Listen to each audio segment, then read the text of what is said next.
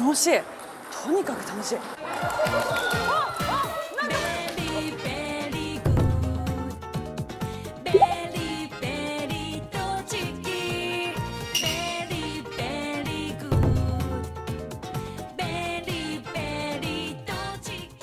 もうかと言ったらいちご。もうかと言ったらいちご。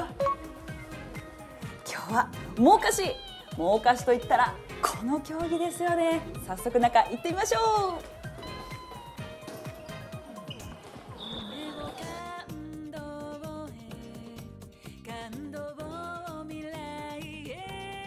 人数とかは通常のバレーボールって6人そうでとかですすよねね。はい。これは4人になります。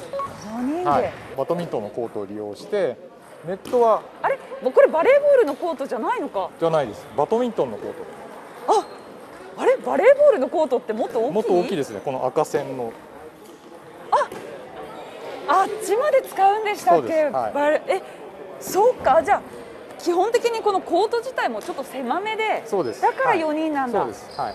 はネットがまあ低いので2メーターなんですけども、えっ、とボールがえっ、とこういったゴム製のボールで、あはいえっ、と周囲が78センチではい重さが210グラムなんです。軽い軽いです。し大きいえ普通のバレーボールもう一回りちっちゃいですよねそうですね。ちょっと大きいのかはい。これは大きいです。そしてゴム製なので柔らかくて、こんなにふにゃふにゃでもしっかりと張ってるので、はいそこまでべちゃべちゃっていう感じじゃないけど、はい弾力はある、はい気持ちいい感じの、そうですね。はい。へえなるほど、っていうのがもう基準のそうです。ボールで、はい。これで試合します。はい他に何かなんか特別なルールみたいのあったりするんですか？特別なルールはほとんどないですね。6人制のルールと、まあ、9人制っていうバレーボールがあるんですけども、それの、まあ、いいところを取って、えーやりやすいようになっています。なるほど、はいじゃあもう早速はい。見せてもらってもいいですあ、かはい。こうやりあーなるほど始まったおお始まったえおおあーなるほどすかしたおおおお続いている。ラリーが続くのもまた面白さの一つですかね。私にもはい。できるものですか、できます。混ぜてもらおう行ってみますサーブやっぱあ、惜しい。ー来ナイス。はい。い痛くない。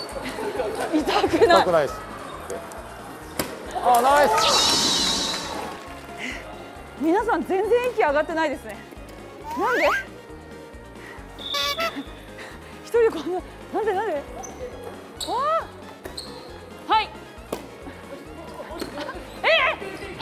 あ、惜しい。お、ナイス。あなんか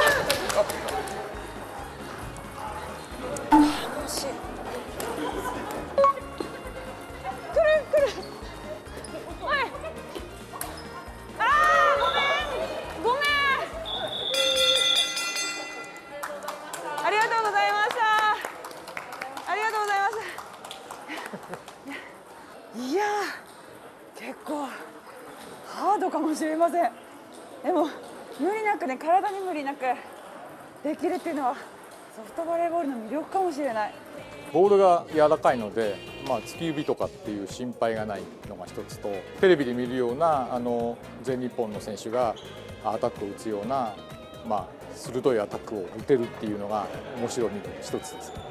と今回は国体のデモンストレーションスポーツという形で真岡市の体育館を使用させていただいてますけども、えー真岡市で今度大会が開けたらいいなと思います。